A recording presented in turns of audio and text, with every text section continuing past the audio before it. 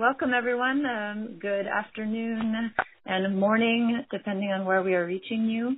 Um, my name is Kirsten Stoebenau, and I um, am also a member of, of the Strive uh, Research Partner Consortium, which is a five-year um, research consortium funded by DFID that looks at the structural drivers of HIV/AIDS. Our, our aims are to better understand and to highlight the role of structural drivers in the HIV/AIDS epidemic. Um, and I am, uh, we work across a number of different themes. I am, along with Joyce Wamoyi at the National Institute of Medical Research in Mwanza, Tanzania, a co-leader of one of our thematic working group areas within Strive, which is on transactional sex and HIV. We are delighted to be joined today by Dr. Rebecca Fielding Miller. Dr. Fielding Miller describes herself as a public health social scientist who specializes in the social and structural determinants of HIV and gender-based violence. Her research combines um, both ethnographic and more quantitative uh, methods and highlights priorities and experiences of marginalized groups across a number of different settings, um, including sub-Saharan Africa and specifically Swaziland, which is what she'll be talking about, her work in Swaziland today. She'll be speaking about work that came out of her dissertation research on transactional sex in Swaziland. Her research makes an important and unique contribution to uh, scholarship on the measurement of transactional sex, and furthermore on understanding the conditions and circumstances in which transactional sex might impart risk um, of HIV and her body of research is very much in line with the mission of the, the working group on transactional sex and HIV and and uh, is we feel important for better understanding and addressing gender disparities in HIV risk in the sub-Saharan African context. Dr. Fielding Miller recently completed her PhD at Emory University in the Department of Behavioral Sciences and Health Education. Um, before this, she completed her um, Master's of Public Health uh, at the Johns Hopkins um, Bloomberg School of Public Health, and she currently holds a postdoctoral fellowship uh, in the Division of Global Health at the University of California, San Diego. So we'd like to welcome her. Thank you so much, Kirsten. Um, so first, I want to say thank you so much to all of you for joining me today, and good morning. It's um, 5 a.m. here in San Diego. but also let me say good afternoon and good evening for those of you listening from other parts of the world. So today I want to talk about transactional sex and what we mean when we use that phrase and how we can best measure it. And like Kirsten said, this is something that the Strive group has spent a lot of time considering and my hope is that I can contribute to that conversation by sharing a new tool and showing some of the really interesting results that we've gotten using it. So first, what do I mean uh, when I say transactional sex and what do we mean when we talk about risk? I think that we mean this combination of financial and social gender inequality that manifests in two ways. And also let me say, and I think we all know this, that I'm talking about something that's distinct from sex work. Sex work comes with a very particular stigmatized identity and set of occupational risks, and that's not really what we're talking about right now. Um, but for transactional sex, we know that, first of all, socially and culturally, in a lot of the world, uh, women and young women in particular um, have less overt power than men because of gendered power hierarchies. And second, we know that in many of the contexts where we work, women, and again young women in particular, are more likely to be living in poverty and to be financially dependent on men. So what do we mean when we say transactional sex? I think that we mean this combination of ways that gender inequality and financial inequality affect women across all these different levels of the social ecology that you see here on your screen. But in particular, we mean that transactional sex is one of the ways that these things interact at the relationship level to put women at particular risk. So how do we measure that dynamic? Um, most often in quantitative studies, we use a definition very close to the one you see here on the screen um, the exchange of sex for money, gifts, or material goods. There's some variation on that. And this definition works pretty well. We know that particularly in sub-Saharan Africa, women in relationships or one-time encounters that meet this definition are at about a 50% higher risk of HIV and are more likely to experience intimate partner violence. But the thing is, this definition, to borrow some language from epidemiology, it's really sensitive but not very specific. When you think about it, the exchange of sex for money or gifts or material goods can encompass relationships ranging from sex work to engagement rings. And if you don't believe me, engagement rings have this long and particular fascinating history in the U.S. and Europe that I can get into, but won't. But I do think that we can agree that um, neither sex work nor engagement rings are what we mean when we say transactional sex. And part of the reason that defining this, what we mean is tricky, is that often when we do this type of really important, really useful quantitative research, the type that tells us that transactional sex puts women at higher risk of HIV and violence, we're using what we call an etic definition. That is a definition that helps us universally categorize relationships that happen in Madagascar or Malawi or Ghana or Lesotho or South Africa or Swaziland in a way that's comparable, in a way that's consistent with pre-existing research. And often that pre-existing research originates from Geneva or New York or Atlanta or London or San Diego, and we want to be consistent or comparable with ourselves. But on the other hand, there's been a lot of great qualitative research, again, largely in sub-Saharan Africa, but also all over the world, and some really great examples done by members of the Strive group. Um, that does a really nice job explaining the complexities and nuances and context of these relationships. And this is in large part because qualitative work is often predicated on the notion of looking for the emic perspective. That is, it doesn't start with a pre-existing definition of what transactional sex is. The researcher simply attempts to understand what this combination of financial and sexual obligation looks like from the perspective of men and women who engage in it within their own particular context. And what qualitative work often finds, using this emic frame, is that in addition to driving increased risk of IPV and HIV, as the quantitative and usually slightly more etic work shows us, is that there's also a lot of social pressures and consequences surrounding transactional sex. EMIC qualitative work shows us that women have to walk a balance between financial support that they owe or want to bring to their family and the ways that a wealthy partner can help them supply that, and the social censure that they often face if they're seen as pursuing this support from a partner only for financial gain. And this balancing act exists within a culture uh, that sees male financial support as normative and in fact pressures men to provide financial support for their wives, girlfriends, and families. And that's not only in sub-Saharan Africa, of course. The male breadwinner is expected and normal across the globe, from San Diego to Madeira. So quantitative etic approaches are important to get us our data on prevalence and associations, but emic qualitative approaches are also really important because meaning and context are slippery. So how do we measure both at once? well, this is an approach that I'm really excited about. It's called cultural consensus modeling, and it's been floating around in the world of anthropology for quite a while. The idea is really simple. It's a tool that allows you to start with an etic, universal idea. In this case, the idea of transactional sex is the exchange of sex for gifts, money, or material goods, but not sex worker engagement rings. Rapidly get an emic description of that idea, and then come out the other end with a quantitative scale. And with that, you can do a few neat tricks that I'll show you in a second. So the way it works is this. Uh, down at the bottom of the screen here, I'm sure many of you remember bullseyes much like these from your intro to EPI courses. Over here on the left, we have something that is reliable but not valid. It hits the same mark, but it doesn't hit the bullseye. Next to that, uh, somebody's aim appears to be valid. It centers around the bullseye, but it's not very reliable, uh, followed by some work that's neither reliable nor valid. And finally, here on the right, we see that somebody has managed to hit the bullseye consistently, and they're both valid and reliable. And in this classic diagram, we know the correct answer, right? We can see the bullseye and we know what we're aiming for. But what if we're in a situation where there's no approved correct answer, or where we want to go in and find what the local correct answer is? So in that case, we can use the emic assumption that if a group of people are answering a question reliably, they're probably doing that because it's the culturally correct answer. The classic example is tennis, for some reason. Um, if I don't know the rules to tennis, but I go out and ask a bunch of professional tennis players, I can probably safely assume that if they are consistently telling me the same thing, then that thing is correct. And we can build on that assumption.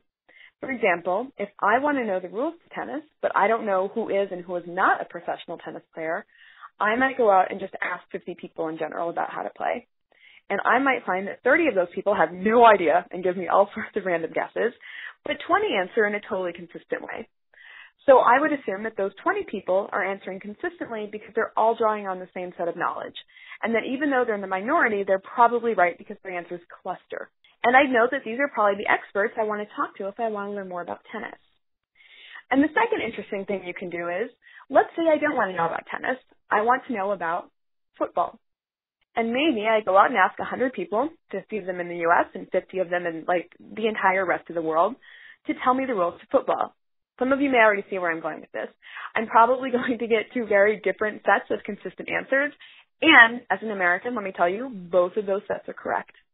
And now I know that there's two correct ways to describe the rules of football, and I have two sets of, sets of experts who I can ask about the two kinds of football.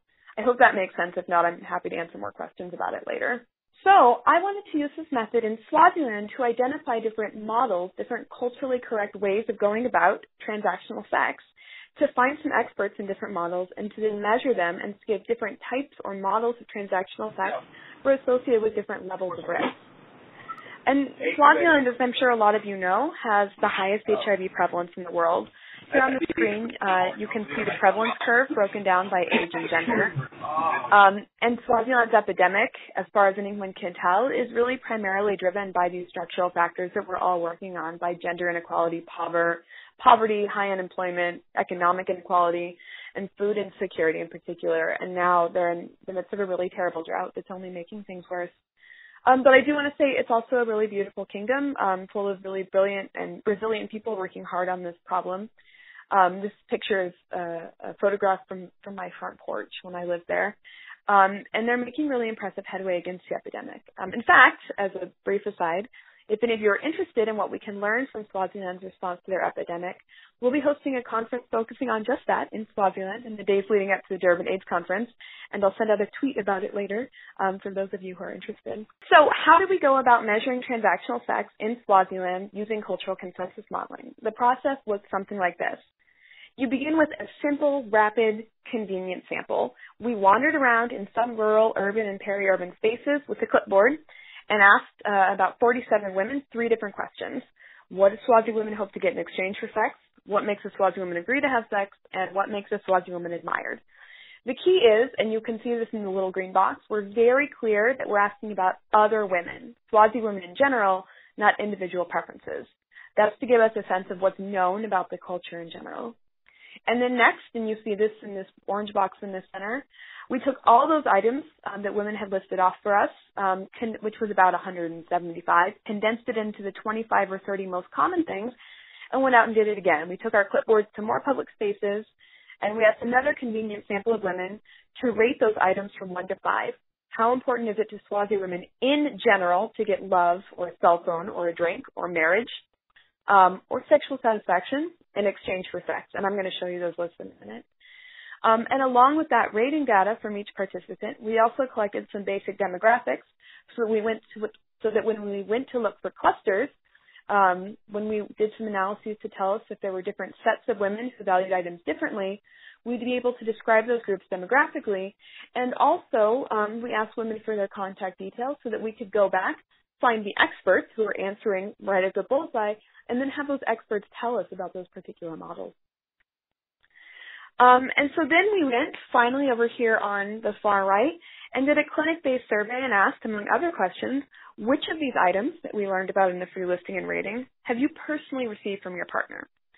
So just to be really clear, the free listing and the rating were about women's knowledge of the culture in general, what are cultural rules and preferences around transactional sex that affect everyone, and the in-depth interviews and clinic surveys were about personal behavior, what do you get from your partner? What is your personal experience uh, within your relationship?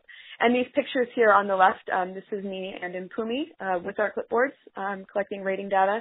On the right here is what our um, ANC survey looks like. That's one of the volunteers, um, not a participant. So here's what we found. Um, I don't really want to get into the statistics. We can talk about it later if you want. Basically, you're doing an exploratory factor analysis with participants rather than items as the variable. So you're looking for clusters. And to be comfortable saying that you found a distinct set of knowledge, that this way of talking about football is distinct from that way of talking about football, you want this eigenvalue ratio to be greater than 3, and you see that highlighted in yellow here. So as you can see, of the 77 women we talked to, four different ways of answering, of valuing what a man gives you in exchange for sex emerged, and three of them met that criteria, had that value greater than uh, 3. And we found that the first group, which we later labeled aspirational based on qualitative data, was a little more likely to have been recruited somewhere urban, um, had generally completed or come close to completing secondary school, and was unlikely to be married. And I'm going to show you guys how they each of these groups rated items too in a second. Um, the next group you see circled, which we call Nkosikati, which is a Siswati word, uh, was more likely to be rural, way more likely to be married, and slightly older and I say that now, um, I no longer consider 31 to be slightly older, but you know. and the last group here on the right was younger, more educated, and much more likely to have been recruited from a university campus. Um, the fourth group here, the one that isn't circled in the second column, labeled work migration, even though it's uh, bigger, didn't meet our criteria, and they were primarily recruited from peri-urban sites, which see a lot of like work migration for factory jobs. And if I had to guess, I'd probably say that that explains why they were the biggest group but the least cohesive. It's a lot of women coming from a lot of different backgrounds, making them less likely to be pulling on the same set of cultural knowledge. So here are, um, uh, these are not all 30 items, but here you can see how some of the different groups rated some of the different items. Um, and you can see that there's some some de- uh, decent variation here. And on the right, um, you can see this is all basically the results of a test. Um, so on the left is your answer key, and on the right is how participants scored. These are rating participants, how they scored on that test. So how um, how many correct answers they got, basically. Um, and so what this tells us is who might be a good person to do a qualitative interview with because we know that participant one uh, got about 86% of the answers correct, or more accurately, she has an 86% chance of getting an answer correct when asked about the Nkosikati model of transactional sex. So she gave answers that were very close to what you see here on the far left in the answer key with basic food at 3.9 and so on. And so we know she's probably the person we want to go do a qualitative interview with. On the other hand, if participant 31 got a negative confidence score, we probably don't want her to be our expert on aspirational models of transactional sex. So that's what we did. We interviewed women who were highly competent within each model of transactional sex, and this conceptual model here in front of you is what we learned. Now, I'm not going to go on about this very long, although I have to tell you I love this model and the paper we wrote on it, which is slowly winding its way through review and which I could go on about for days. But here's the important takeaway. When we talk to women who are experts in these different ways of engaging in transactional sex, so to speak, in these different cultural models of transactional sex, we found that they were largely differentiated by two factors. By when in her life course a woman is most likely to participate in this type of relationship, which is this x-axis here, and by how socially acceptable they are, which is the y-axis. And, and the labels on this y-axis, emphasized in pariah, they're drawn from gender theory, from some of Mimi Schippers' work, drawing on some of Connell's work on hegemonic masculinity. But briefly, if a relationship exists above the x-axis, it means that a woman's behavior isn't really threatening to the gender hierarchy, and it's socially acceptable or approved. And if it exists below that line, it means that she's doing something that may threaten male dominance, um, and the relationship is almost certainly considered socially unacceptable. So this uh, model on the far right, um, both tends to happen later in life, if you remember the demographic slide from a moment ago, but it's also really, really culturally respected. And you can see in the quote up top, women feel social pressure to get married for a lot of reasons, but one of them is that they're seen as more socially stable and less of a threat to other women's husbands, which is something that's been shown in qualitative work in Malawi as well. And as far as how the transactional element, or really the element of sexual and economic entanglement plays out, you can see a quote here from an informant explaining how she conceptualizes her relationship down below. This is a married, settled woman. Her husband provides for her, and community members go to her for financial support, but also advice. Her family's happy. She's with somebody who's financially stable, and evidence of that financial stability was part of the courtship process. And so we use the term Nkosikati here in particular to describe it because that's a Swazi term that gets the idea of an older, respected married woman. Although not all of these women were married, their relationship just kind of was closest to that model. So next to that, this sort of long oval here, um, the aspirational model. And this is a woman who's also a bit older, maybe in her early mid 20s, who would like to be married, who's hoping her relationship transitions to marriage, and who in an interview does a lot of work we found to rhetorically position her relationship as as close to marriage. And I love this quote that you see here in green um, because I think it does a beautiful job of explaining this huge range of things, financial and social, that she's hoping to get from this relationship. And the way that financial stability can hopefully transition her into social stability. But she's not married. It may be that her partner is married to someone else, in which case it's likely to hover below this line and be a little less socially acceptable. Um, it may be that marriage is not on the table for whatever reason.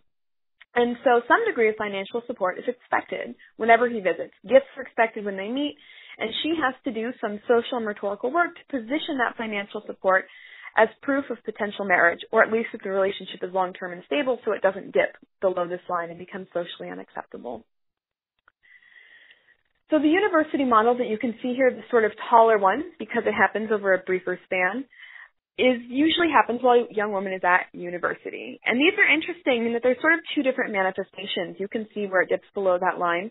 One is much more egalitarian and, and modern-ish, I should say, and one a little more the traditional thing we think of when we think of university transactional relationships. Um, you can see a lovely uh, description at the top of the screen uh, where financial support is definitely expected in the more egalitarian relationship but it's seen as a part of a loving relationship in which she does owe him some respect as her boyfriend. And families, by the way, similar to in the Kosakati model, are really in favor of their daughter being with somebody who has a strong financial future, which is not illogical. And below that, you can see a quote from a woman who is in a much more sort of sugar daddy style relationship. Um, this is more traditionally what we think of when we think of transactional sex. This woman was was affectionate towards her partner, um, but you can see here that she views the sex as obligatory, and she probably wouldn't be in this relationship if she had any alternatives.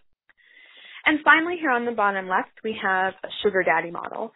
Um, we didn't identify this, this, through consensus modeling. You might see, um, you might remember from that initial slide, there was no sugar daddy consensus model. But we did find that during qualitative interviews, a lot of women um, reflected back on having this type of relationship when they were younger, and they used the term sugar daddy, which is why we adopted it.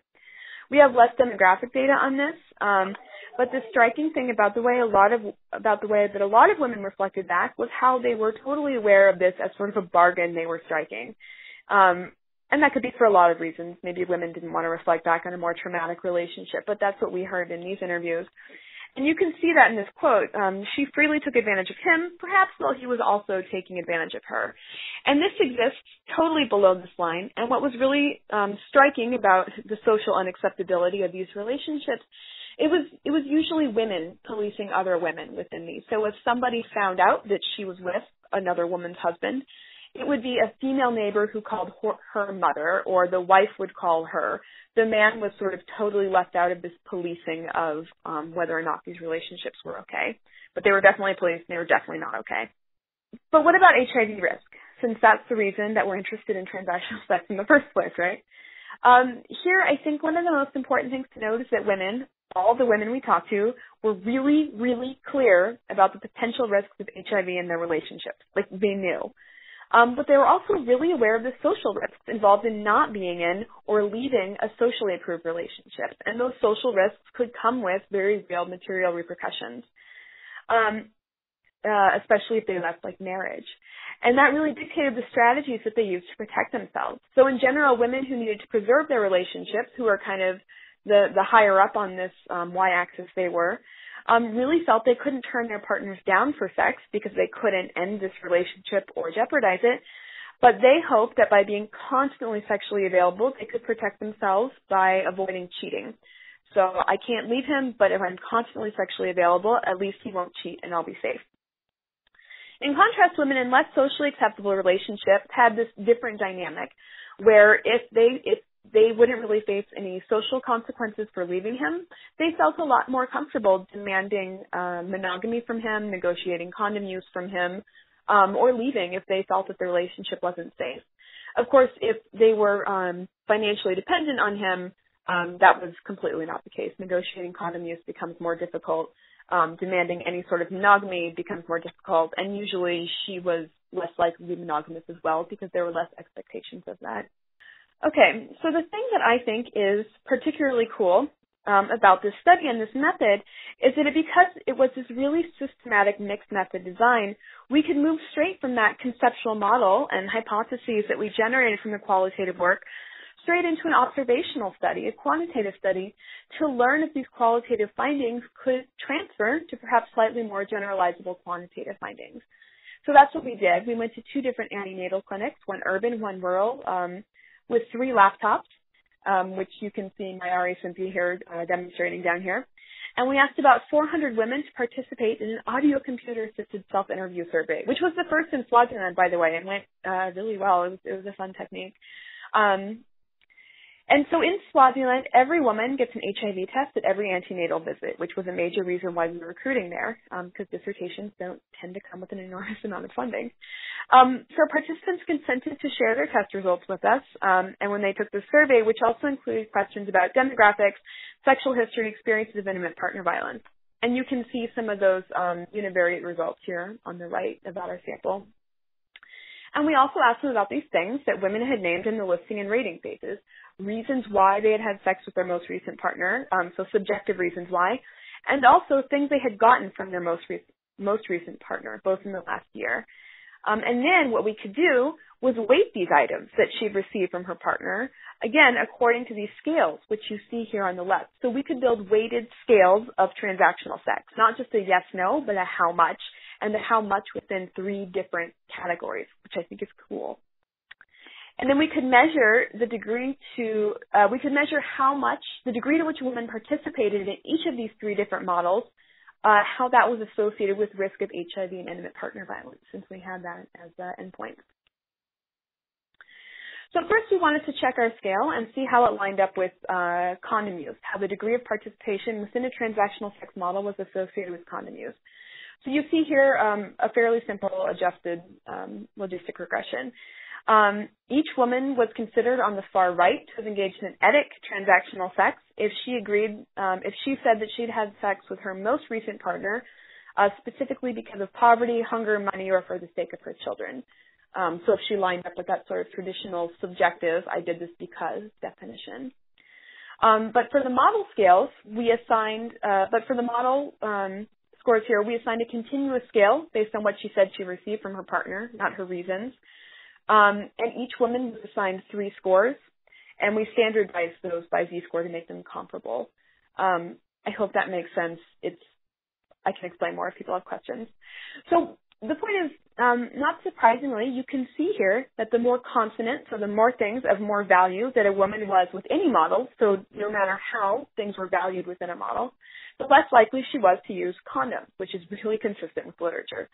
For every standard deviation increase in the value of things she was receiving from her partner, uh, women were about 25% less likely to have used a condom the last time uh, they had sex. Now, what's interesting here on the right you can see that the etic definition doesn't really pick this up. Um, it's just uh, it, it, crosses one completely. Um, but the really interesting results, I think, start coming when you look at how the value of what a woman was getting from her partner um, corresponds to her social status.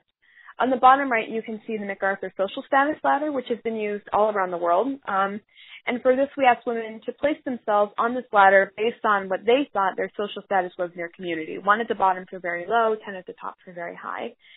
And we found the most fascinating thing, which I haven't really seen in quantitative papers, um, but has been reported quite a bit in qualitative work, that the more things of higher value a woman received from her partner, the higher her social status, with the effect most pronounced in the university and aspirational model, and only really marginally present in the Nkosikati model.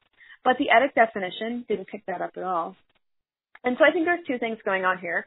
There's two possibilities here. Either women of high status get better things from their partner, or getting things from their partner increases women's social status.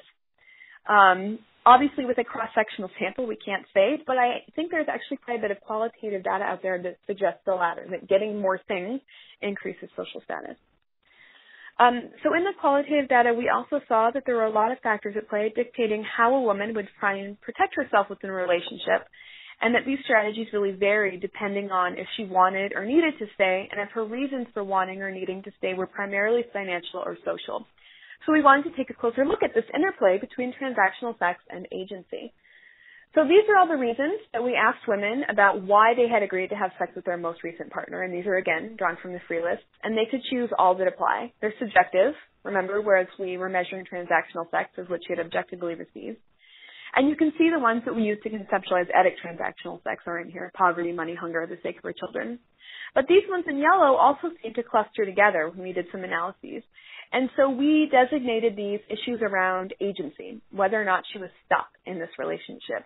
And we did that using structural equation modeling um, to look at how transactional sex and agency both influence intimate partner violence uh, and HIV. So, the, okay, this slide is a bit busy. Um, so first, let me direct your attention to the bit where it says um, latent variable constrained agency. Um, if structural equation models are not your thing, which is, you know, totally understandable, all I need you to see from this is that all these agency-related reasons, constrained agency-related reasons, load pretty high and seem um, across the board and seem to be describing one latent construct. They hang together really well. And these are three different models that we built. So we did this three times during Nkosikati Aspirational University. And hunger actually loads particularly well under constrained agency at about 0.93, which makes sense because we are working in a context of very high food insecurity. Um, so when you look below that, you can see that for all the all three models, the biggest thing um, that influenced whether or not a woman's agency was constrained, as measured by these indicators, is her level of education. You can see across the board it's about negative 0.2. Um, and I think that's really notable and one more piece of evidence and a testament to a lot of the hard work being done by Strive and other folks around the world about the importance of keeping girls in school and of women's education. And then when you come down here into the last few rows, you can see how constrained agency and intimate partner violence begin to play out differently across different models of transactional sex. So for all women, constrained agency was significantly associated with intimate partner violence, right? Which makes sense. Um, for each unit increase in constrained agency, across the board, IPV went up by about 0.18 or 0.19 units. But then, and this is what I think is kind of remarkable, um, once you account for constrained agency, transactional sex begins to have a very different relationship with IPV. So for married women, women in a Nkosikati model relationship, uh, which is not the same as married, but women kind of in that model relationship, there's no significant relationship between transactional sex and IPV once you account for agency. You can see that p-value is uh, 0.09. But for women in university and aspirational relationships, once you account for, once you include constrained agency in the model, IPV actually decreases the more things of greater value a woman receives from her partner, which is kind of wild, right? Like that is not what we've seen in the literature. And so what I think is happening here is just what women were telling us in the qualitative data. He gives me things because he loves me, and I have sex with him because I love him, which makes sense. So once you account for the ability or inability to exit, what these women were telling us is true or appears to be. Gifts and financial support, at least in part, may be a pretty good indicator of a loving or at least less violent relationship. And of course, that's really complicated, and I look forward to talking about it with all of you. But I think this negative association is new and valid and, and worth some chewing. So, how does this idea of constrained agency play out when it comes to HIV risk? So here we divided women into two groups. This is a multi-group structural equation model regression, which again, don't worry about too much. Just look at the picture. It works fine. Um, and we, we divided the space that women who reported at least one indicator of constrained agency and women who didn't. And you can see about how that plays out here on the right. About 107 women reported at least one indicator of constrained agency. And this model looks at those whose agency um, was constrained. And we find that, just as before, receiving things from a sexual partner, transactional sex, increases social status, this green line from transactional sex to subjective social status, as does higher education, although it decreases if women report being called a nasty name having to do with her sexuality, and these were local equivalents of like slut or gold digger. And we also find that once you sort of control for agency, once we do this multi-group thing, looking at women whose agency were constrained and who weren't, um, there is no link between transactional sex and condom use for this group. But we do see a positive association between condom use and HIV status, which is almost certainly an artifact of cross-sectional survey in which the large majority of women already knew their status. And we see that women who are living with HIV, um, yeah, so most women already knew their status, which is probably why condom use is highly associated with HIV. But what we do see here in this constrained agency group is that living with HIV, women living with HIV are much more likely to report a lower um, subjective social status. But what's interesting is when we look at women who don't have, who don't report an indicator of constrained agency, we see a totally different pathway from transactional sex to HIV. Um, there's really similar associations between transactional sex and social status and condom use and HIV for probably the same reasons. But we also see that receiving more things from a partner does make condom use less likely. And combined with our qualitative results and the, and the suggestion that there's less IPV in these relationships, what I think this suggests is that women really do feel that these gifts and support are a mark of love and trust, not manipulation. And we know we're all less likely to use condoms in relationships that we consider to be affectionate and potentially long term. But then there's this other significant pathway or lack thereof. Unlike the constrained agency group, there's no significant association between HIV and social status for women who don't have constrained agency relationships. And what's probably happening here, um, because women in constrained and unconstrained relationships have about the same HIV prevalence, is we're seeing that some women appear to suffer more from HIV stigma than others. And those are women who already have constrained agency, who may have fewer places to turn when they need help with food or rent or any other financial necessities which means that when we think about transactional sex, and here, as you may have guessed, is what I keep coming to, we can't only focus on material resources. We have to think about the social risks and benefits and motivations too. And when we design our intervention, we have to think very carefully about who we're targeting and what she might already be experiencing. Are we further pathologizing or marginalizing women who are already marginalized? Are we, by saying you are in a sugar daddy relationship, you are in a hidden sort of socially unacceptable relationship, are we reinforcing this idea that this is socially unacceptable and deserving of some scorn and marginalization? And are we pushing women who are already experiencing higher risk into deeper risk? So, which I think, which was one of my major takeaways from this. Okay, so given all that, what do we mean when we say transactional sex?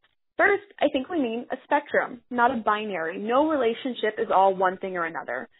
Um, and we mean in, uh, different things in different places, and sometimes we can mean three different things in one place, right? But we also mean that this is a spectrum and different things that we can and should measure based on concrete behaviors. Um, and the thing I like about this method is it's really fast. It probably took me longer to explain it than to do it. It's cheap, let me tell you. Um, and it gives us a wealth of knowledge beyond this traditional yes-no measure. Second, I think we mean a relationship that has physical risk, but also, as I keep coming to, social risks. Women um, might feel pressure to stay in a marriage because to leave is to abandon her social place in the community, or to stay with a partner because her family thinks she has a strong financial future. And so they're not just making an economic bargain, they're making um, a social bargain that has strong economic consequences. When you think about how respected marriages, long-term relationships are, um, and what and, and the marginalization and lack of resources that come with um, uh, being constrained, being less respected. And and also we know that the physical risks depend a lot on social pressures. Can she leave? If not, what else can she do? Um, women know about the physical and social risks and benefits, and they're constantly balancing them. Third and finally, I think when we say transactional sex, we mean relationships I think from a programming point of view with constrained agency, not necessarily any relationship with um, such a, with a certain degree of sexual and economic obligation. Can she leave? Does she want to? And it's the constrained agency that we want our programming to address within a, within the wider social context that matters. Uh, which of course is a great argument for cash transfers and education and other interventions that focus on uh, women's agency and empowerment rather than whether or not their boyfriend is um, or uh, any other partner is giving them gifts or financial support. So thank you so much, um, and of course a huge amount of thanks to the 559 Swazi women who spoke with us as part of this study, um, as well as my research assistants, who you can see many of them here on the right, uh, Sam and Pumi Nokchancha and Cynthia, um, as well as everybody here who provided funding, CFAR from Emory, Fulbright, um, Johns Hopkins. Um, I'm really looking forward to your questions, and you can see my contact information and website here on the right if you want to get in touch after this presentation. Thank you.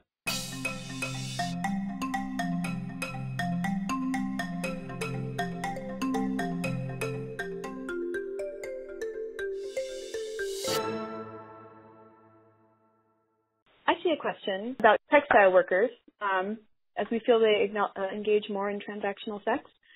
Um, so we that was the peri-urban that was the work migration group that we spoke with um, because we do know that in, in Swaziland there's a lot of textile and um, canning work and we know that there's a lot of transactional sex and sex work that happens around those factories.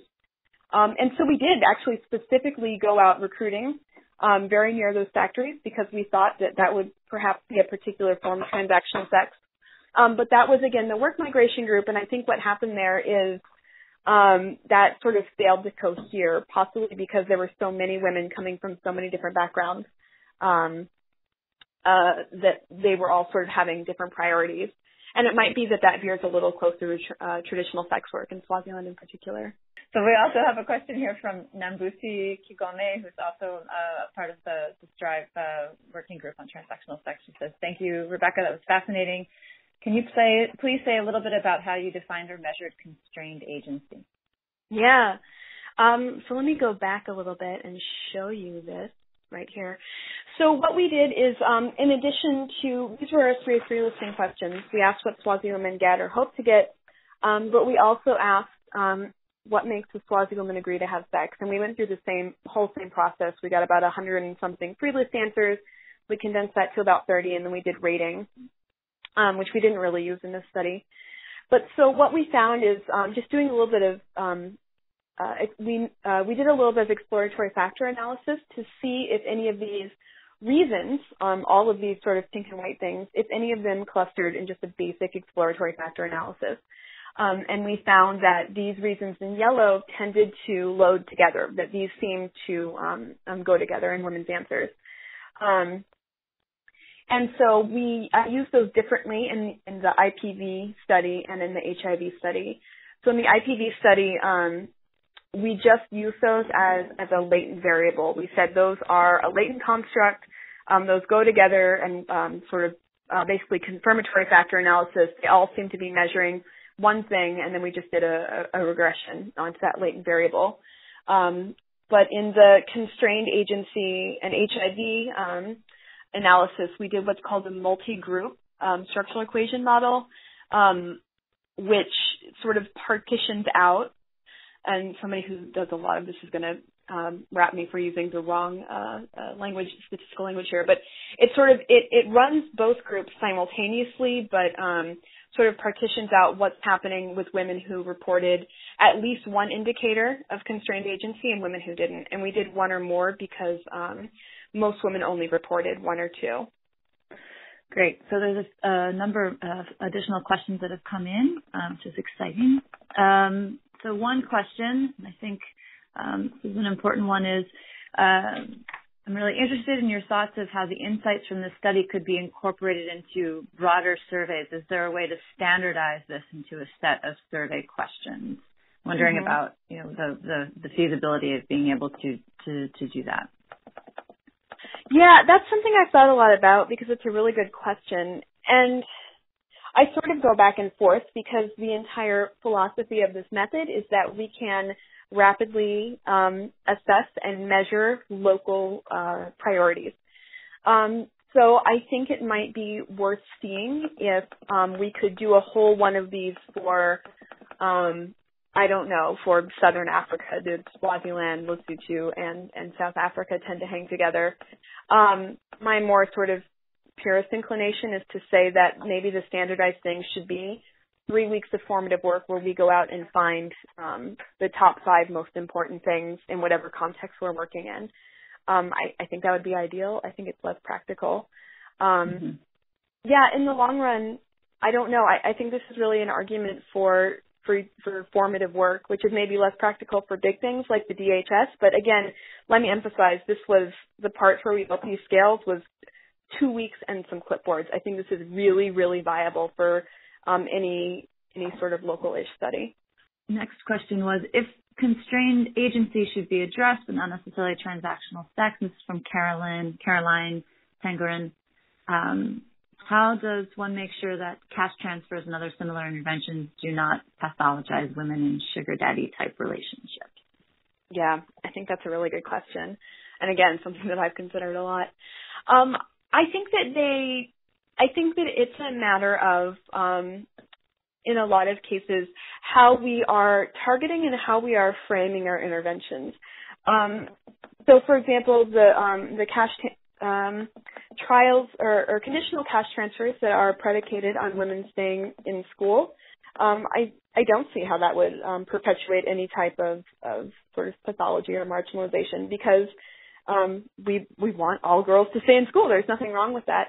I think um, this is more a note to sort of uh, more local or on the ground programming, and, and we might have all seen these of you know, um, avoid sugar daddy relationships, or I think it's a note to be careful about our, our language and our messaging um, in who we um, who we say is doing the wrong thing, or or sort of what values might be implicitly embedded in in our messaging. So.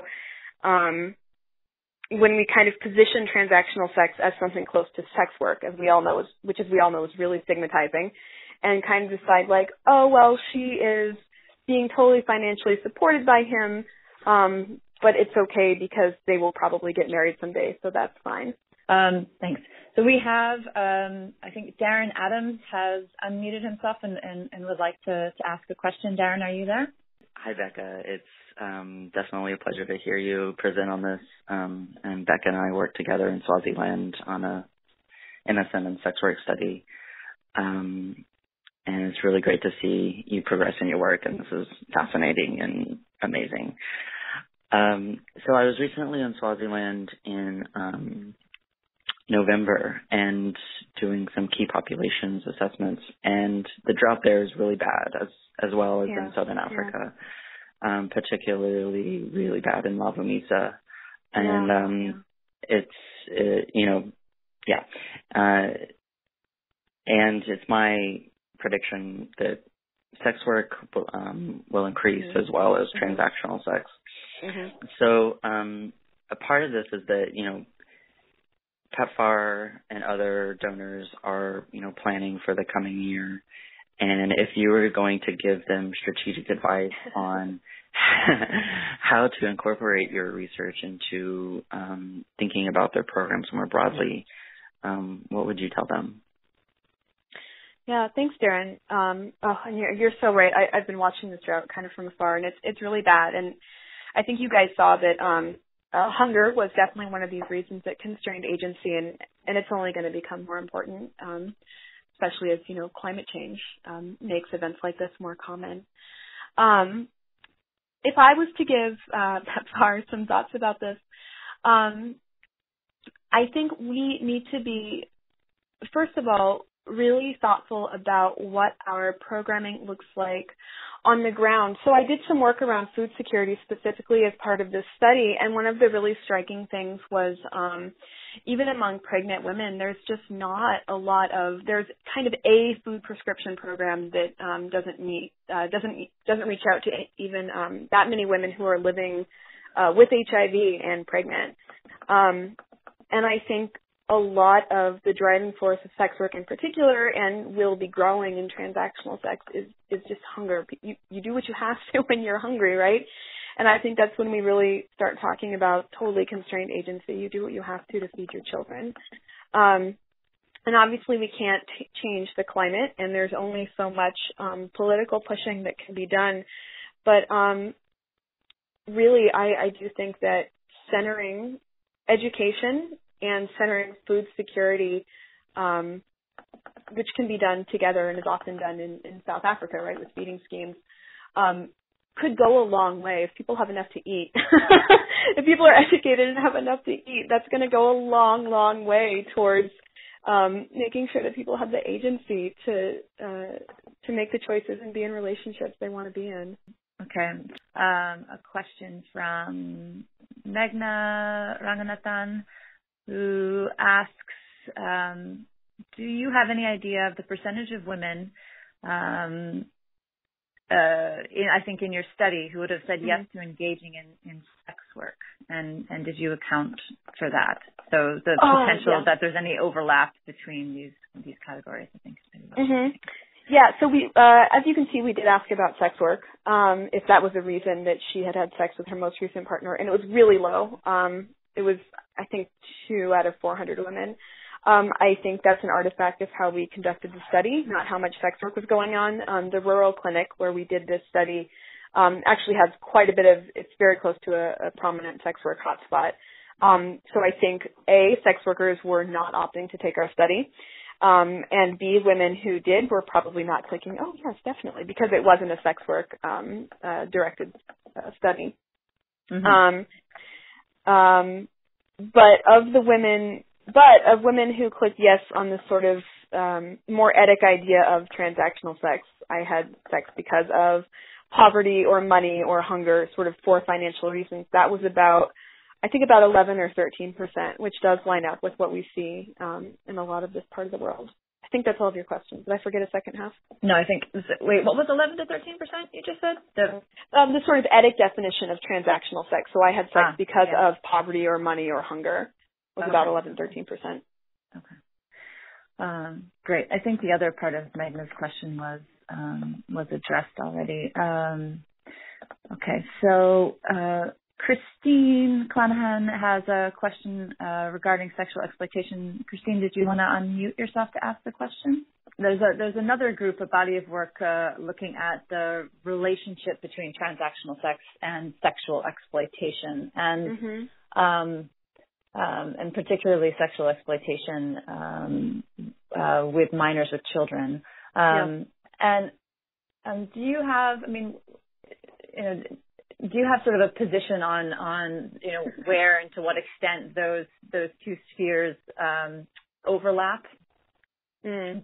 You know, the relationship between transactional sex and sexual exploitation. yeah. So this study, I want to say right off the bat, everybody we talked to was over 18, and that was mostly for ethics um, reasons. Um, I do want to say that when we were in the clinics, um, we very rarely saw we we excluded very few women, almost nobody, for being under 18. Um, and I'm fairly certain that's not because women um, use condoms until they're 18 and then stop, right?